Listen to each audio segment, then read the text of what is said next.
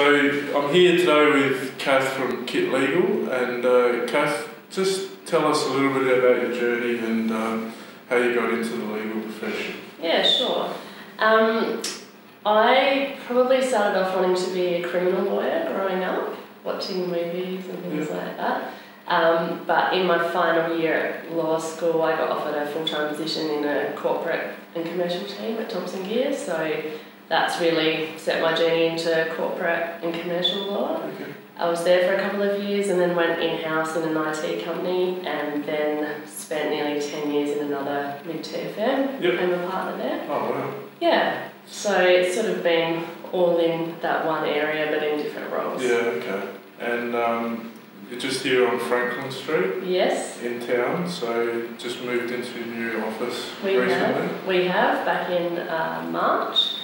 Um, so even though we're based physically in Adelaide, probably 85% of our work is from interstate though. Okay. So I spend each Tuesday in Sydney um, and then the team flies across to, to Sydney, Melbourne and Perth as required. Okay. Yeah.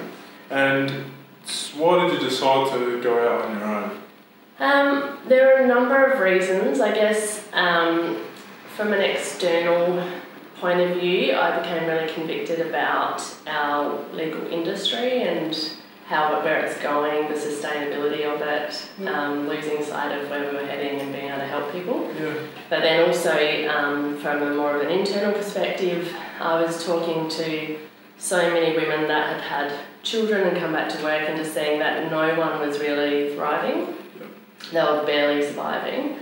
Yeah. And I just thought if I don't do something about that and try and change things, then, you know, I can't sit here and complain about it. What advice would you give to someone looking to start their own business? I think to find out your purpose is really important and it makes everything else really easy. Um, so I grappled with that for quite a long time when I wasn't happy and trying to work out, you know, whether I do something else or what I do. Um, but I really came back to why am I doing this? Um, who am I trying to help? How can my skills best be used to help other people? Um, and that then shaped my product and service offering. And then it really becomes a different conversation um, and easy to execute because you can make decisions Yep. fairly quickly in line with what you're trying to achieve. So, what's one piece of advice you, you give to clients all the time that you're surprised that people or clients don't know, Um, if there is any? yeah, I think the biggest one would be to know what you want to achieve. I think you can have legal rights or do things um, that might comply with the law or enforce rights against people, but unless you know what you actually want to get out of it, you can go pretty astray. Yeah. So that's what we always start with. Yeah. What's the end point people want to get to, and then how can we, from a legal perspective, help them Yeah. get there? Yeah, and try and stay, I suppose, commercial Exactly. choices. What what commercially they want to achieve. Yeah. Yeah. Okay. And any tips for somebody out there who's going to try to become a lawyer or looking to study to become a lawyer that you might want to pass on to people out there? Um, I think it's a really exciting time with technology and law, and um, I think I read some studies last year about the, the level of the population that have legal needs but don't get legal advice, and it's huge. It's like over eighty percent or something. Uh, So there's a huge market out there of people, I guess the non-customers, that I, that's what I would be focusing on and um, using my skills as a lawyer, pairing that with technology to help that market. And tell me about the client that you can help the most. Uh, the client we can help the most is in the financial services industry. Yep.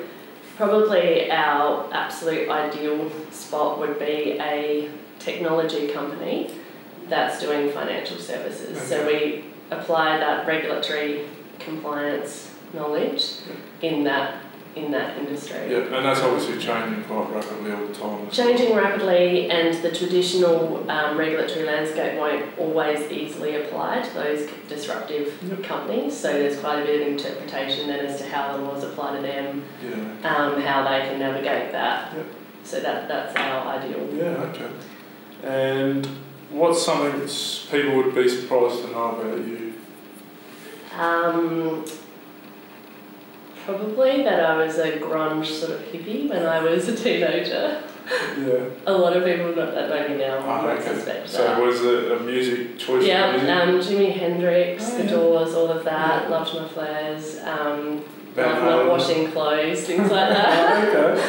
which a lot of people wouldn't know. No, no. Yeah.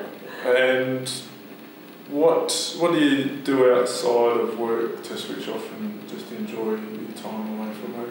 Um, obviously, time with my family is really important. Um, I have a strong personal faith as well, so time with my church and, and doing stuff with that. Um, yeah, that's really at the moment.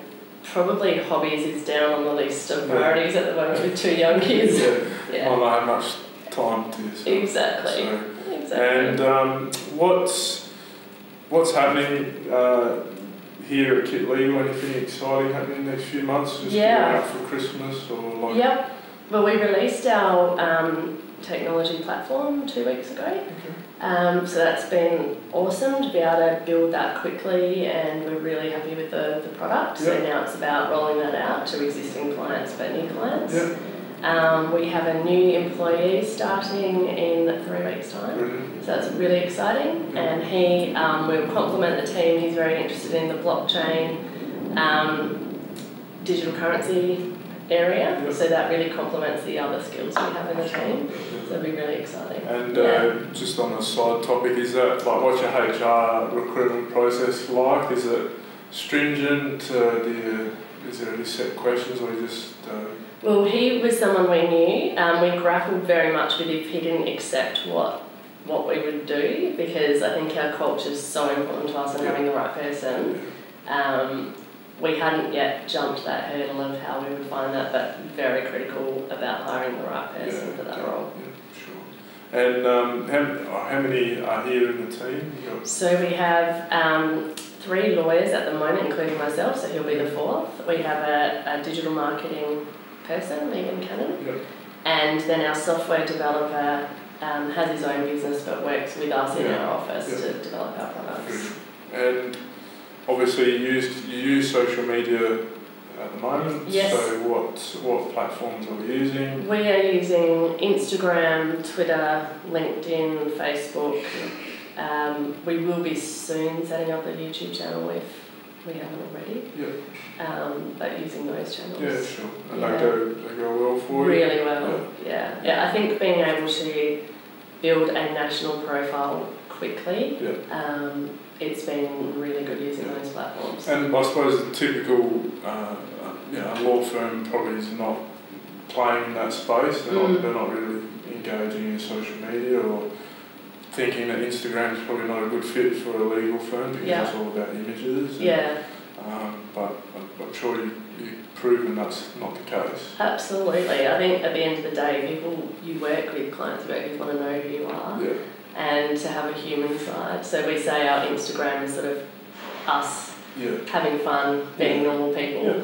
yeah. Um, and then, you know, Facebook is a way to communicate with people very well with articles and Yeah. things like that. yeah. LinkedIn, more professional. Um, but I find a lot of the, particularly in the disruptor space, they're not always going to be on LinkedIn. No. They're more on Twitter, Facebook. Yeah. Yeah. Yeah, yeah. And last couple, where where can people find you other than on the on the internet? So Yep. www. kitlegal.com.au. Um, same, that, that has links to all our social platforms from there. Yeah. And your address. here Address level one, 130 Franklin Street. Brilliant. And that's it from for me. Um, look, if you want to hit up a, a wonderful lawyer and a good team that are just starting out, then check out that, that domain and um, or shoot me a message. So thanks very much Thank for you, your time.